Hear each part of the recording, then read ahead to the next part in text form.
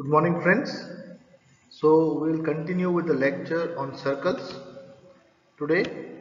So I hope you have seen lecture 1, understood what is a circle, what is a segment, what is a sector, what is an arc. So we are going to do the area, perimeter of the arc, the sector, the segment in a later chapter. But for now we are going to do certain theorems based on circles and chords, length of the chord and so on.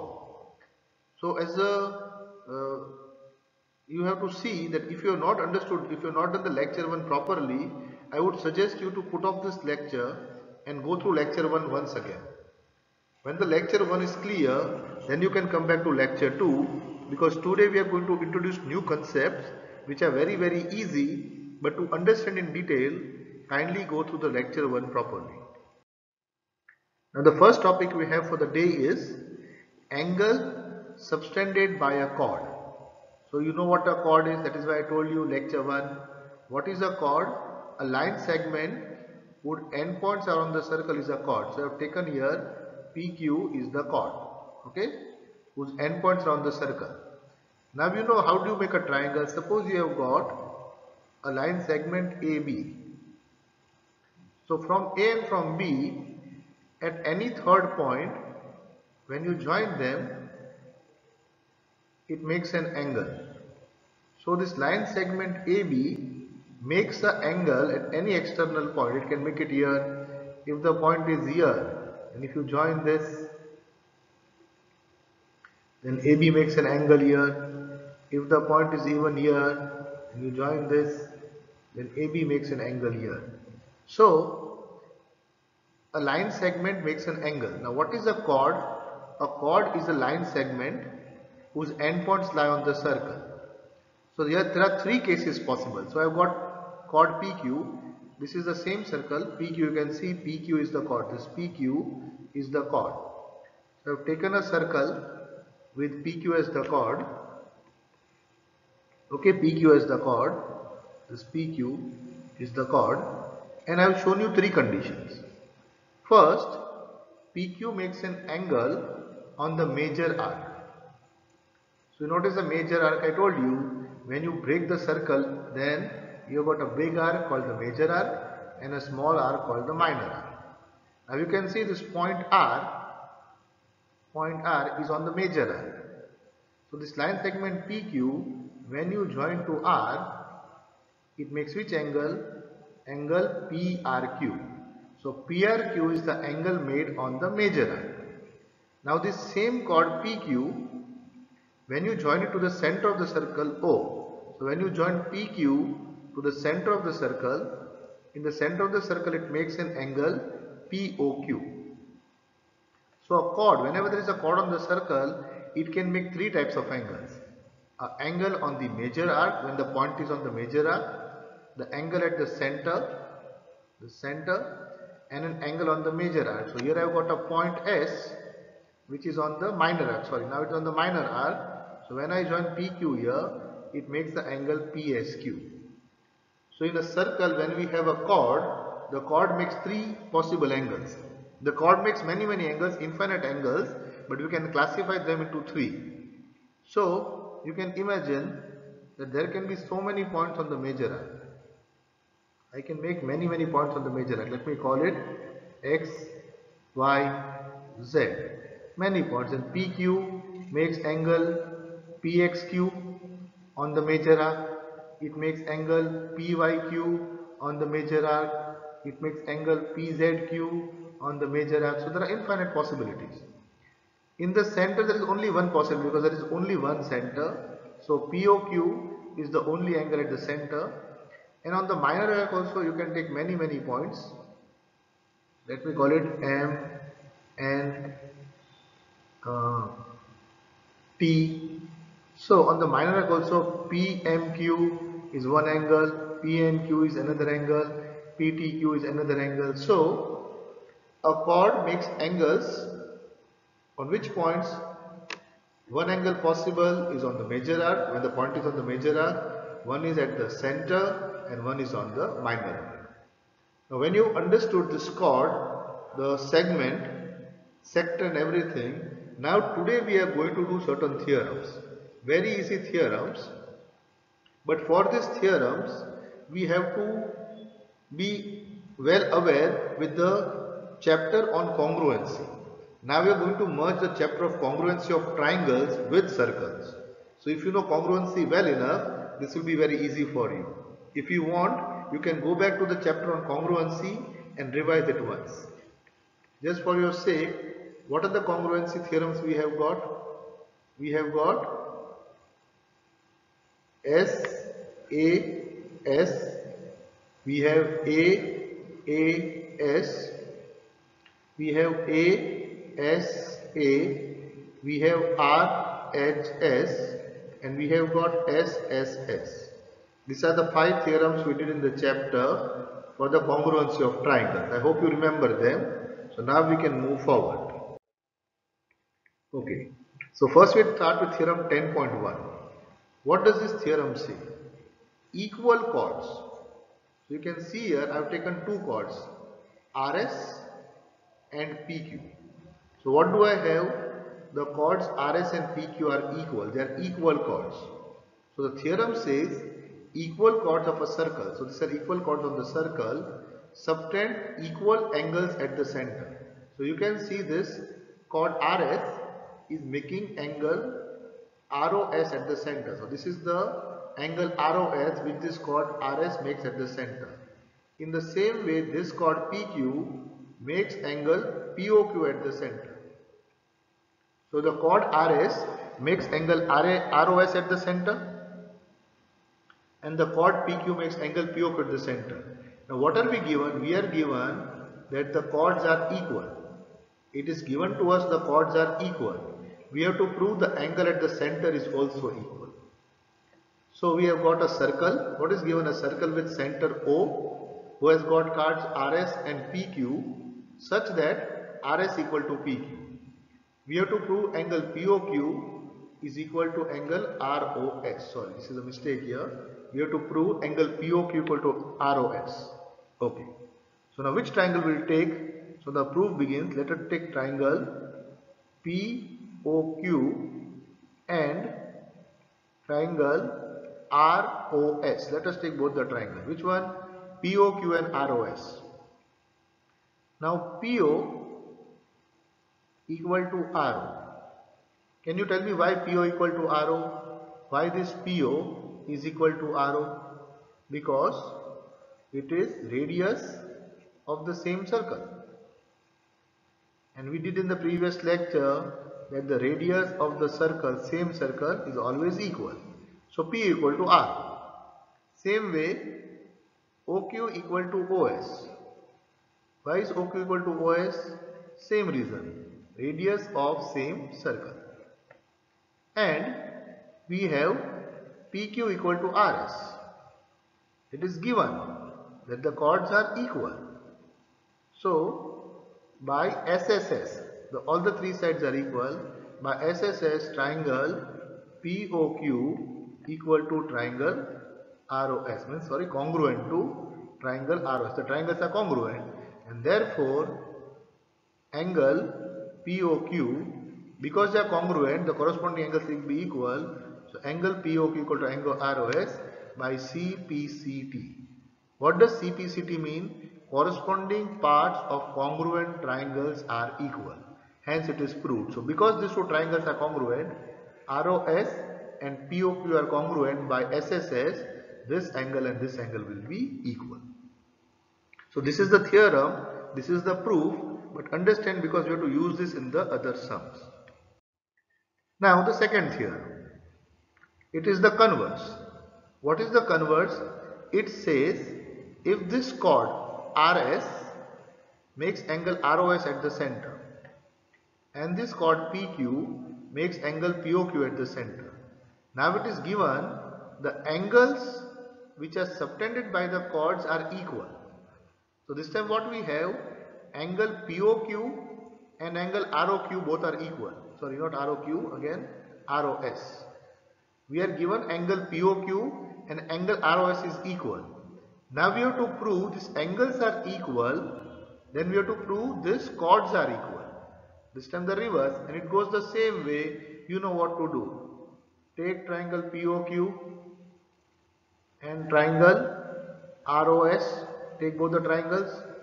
Again PO is equal to RO y radius of the same circle also OQ equal to OS y radius of the same circle and angle POQ equal to angle ROS. Why? It is given that the angle made at the center is equal. So, by side, angle side, side, angle side. So, by the SAS, this time SAS theorem again, triangle POQ is congruent to triangle ROS. If the two triangles are equal, then we have that PQ equal to RS. CPCT. So what you have learned, this is the converse of the theorem. What have you learned? That when the chords of the circle are equal, it makes equal angles at the center. The converse, if the angles made at the center are equal, then the chords will be equal. You have understood what this chord is doing. In this case we have used that the chord is making angle at the center. So which one we used here? we have learned that the chord makes three type of angle. An angle on the major arc, an angle on the center and an angle on the minor arc. In both these conditions we have used the angles made at the center. Now theorem 10.3. What it says? The perpendicular from the center of a circle to the chord. So how you draw that? This is the center of the circle this is the perpendicular. So this OM is 90 degree because OM is perpendicular to PQ. Okay, so what is said? You have to draw the perpendicular from the center of the circle to the chord. So you are given a circle with center O. Can you see I have drawn and a chord PQ and OM is the perpendicular. OM is the perpendicular from the center to the chord. I can write OM is perpendicular to PQ. This is given to us. So we are given a center, sorry, we a circle with center O, PQ is a chord and OM is perpendicular. So this is both are 90 degree. Now we have to prove if it is perpendicular, then this perpendicular bisects the chord means it cuts PQ into two equal parts. Or we have to prove that PM equal to MQ. It is cut into two equal parts. So here this time which triangles will you take? You take triangle OPM and triangle OQM. OPM and OQM. Okay. Now we have angle OMP equal to angle OMQ. You can see because it is perpendicular both are right angles both are 90 degree. So the angles are equal. So this angle is 90 degree and this angle is 90 degree, both angles are equal. Now we have OP equal to OQ. Why is OP equal to OQ? It is the radius of the same circle and radius of the same circle is always equal. So OP equal to OQ. And we have OM equal to OM because OM is the common side to both the triangles. It is the common side. So you have got a right angle. You can see the right angle. OP and OQ is the hypotenuse. So it is the hypotenuse. And OM is the common side to both. So it is the common side. Which theorem I got here? By the RHS theorem, triangle OPM is congruent to triangle OQM. OQM. Both the triangles are congruent. If both the triangles are congruent means PM equal to MQ. Okay. But we can see PM plus MQ equal to PQ. PM plus MQ equal to PQ. Now MQ and PM are equal. So PM plus PM equal to PQ or 2PM equal to PQ or PM equal to half of PQ. So it is bisected. PM and MQ are equal. So PM is half of PQ. So this was the easy theorem, but are you following? In these theorems, we have to use congruency of triangles. The next theorem is saying the line drawn through the center of a circle to bisect a chord is perpendicular. So this is the converse of the theorem. From the center, you are drawing OM. This time you are drawing OM not perpendicular. You are bisecting the chord. So OM bisects PQ into two equal parts. So what you have got? A circle with center O, a chord PQ and you have got OM bisects the chord means OM is cutting PQ into two parts. So PM equal to PQ. But this time if you have to prove if you draw from the center to the chord and bisect the chord then this two angles are 90 degree you have to prove OM is perpendicular to PQ. So we'll go by the same way. Again we'll take triangle OPM and triangle OQM. Again we have OP equal to OQ because it is the radius of the same circle hence it is equal. We have PM equal to MQ that is given to us because it bisects the chord we have OM equal to OM it is the common side to both the triangles common so by SSS triangle OPM is congruent to triangle OQ OQM OP is congruent to OQ therefore we have angle OMP equal to angle OMQ by CPCT because the two triangles are congruent this angle and this angle is equal this angle and this angle is equal this angle and this angle is equal. So we want these two angles are equal. Now you see angle OMP plus angle OMQ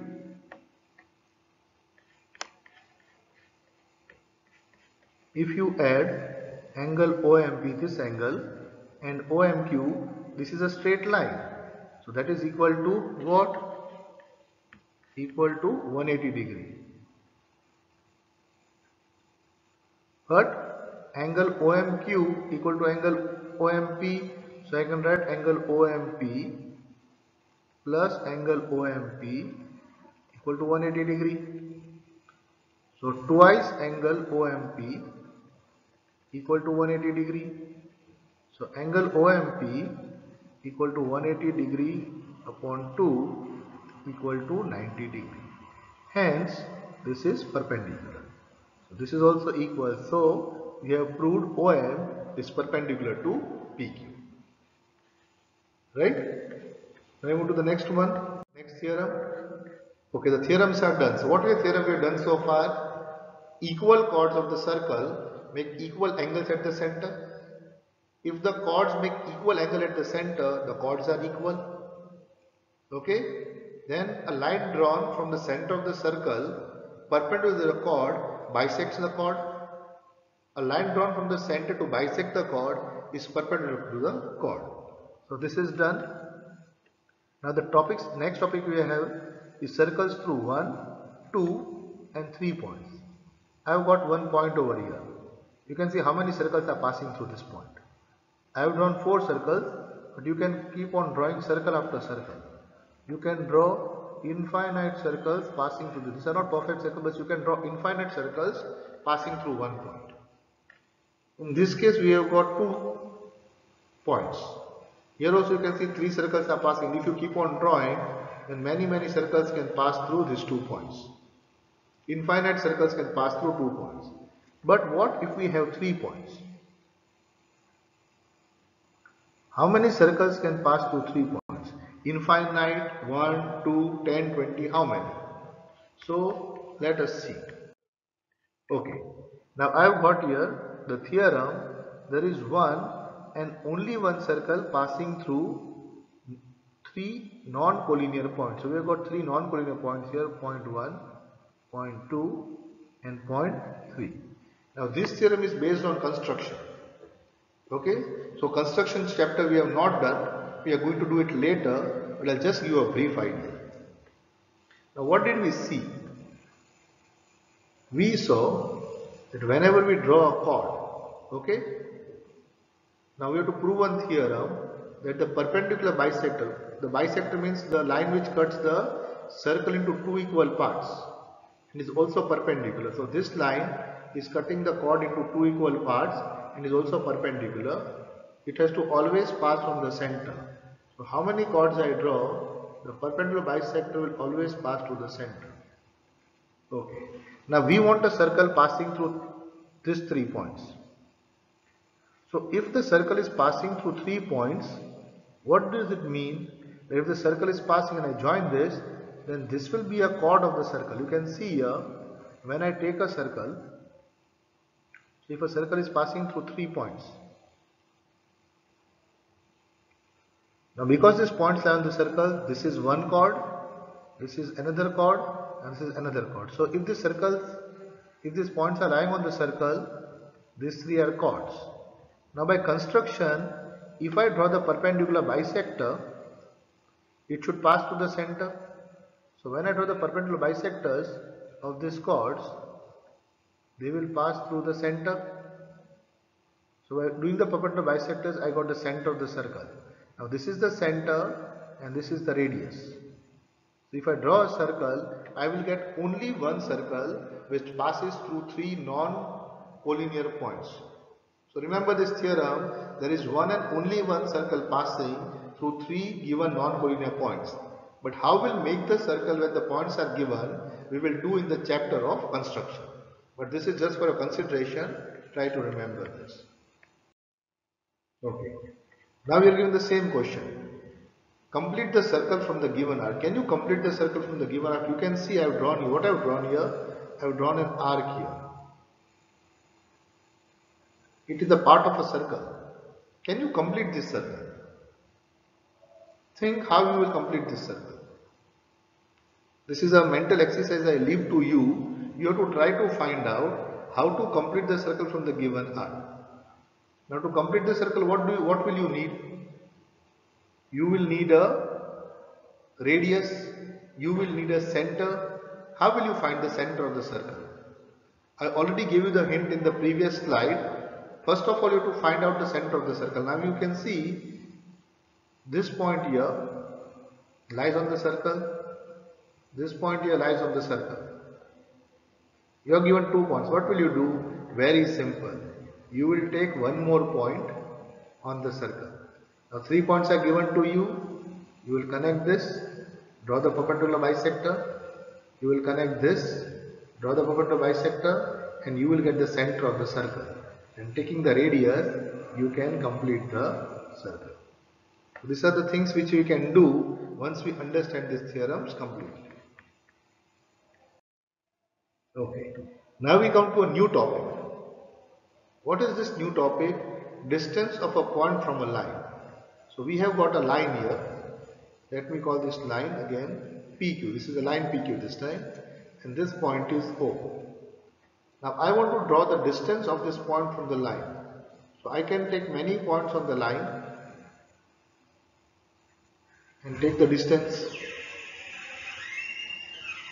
So the distances can be infinite. The distances can be infinite. But you will see which is the shortest distance. The shortest distance is the distance which is perpendicular. All these are making different angles. You can see this angle is okay there when I come near the angle becomes bigger as I come near the angle becomes bigger the biggest angle possible is 90 degree then the angle becomes smaller smaller and smaller so there are infinite distances you have but when we say distance of a point from a line we always mean the perpendicular distance because it is the shortest distance so this is a new thing you learned today whenever a line is given to you and a point is given to you and you are told to find the distance between the point and the line, you will always consider the distance as the perpendicular distance because perpendicular distance is the shortest distance. So the length of the perpendicular from a point to the line is the distance of the line from the point. So always the length of the perpendicular.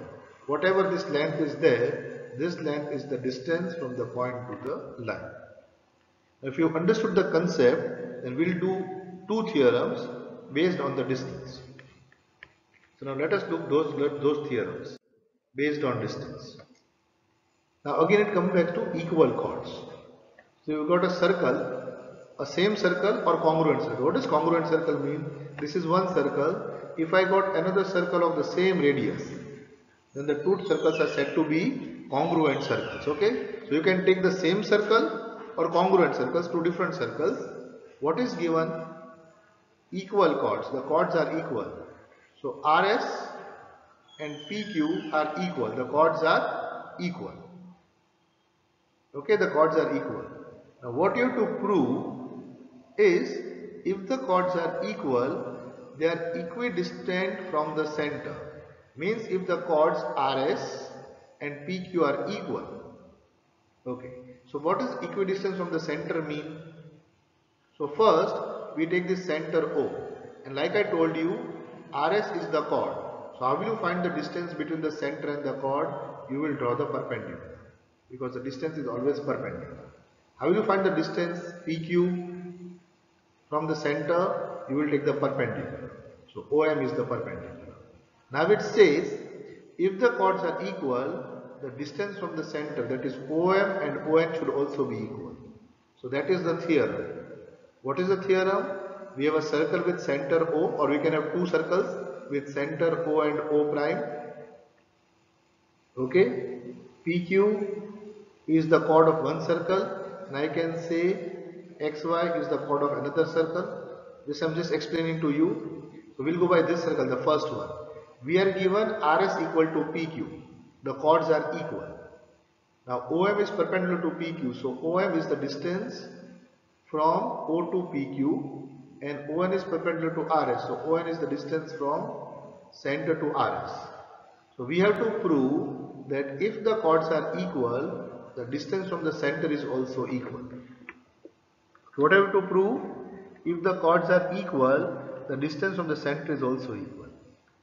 Now in the previous theorem we did that the perpendicular bisects the chord means because OM is perpendicular to PQ from the center means PM equal to half PQ because it bisects the chord. Same way ON is perpendicular to RS so it bisects the chord. So we have got RN is half RS but we are given PQ equal to RS so if PQ equal to RS then the half is also equal. So half PQ equal to half RS so we have got PM is equal to RN so this one PM the half of PQ and Rn both are equal okay so this will call result 1 now take triangle OMP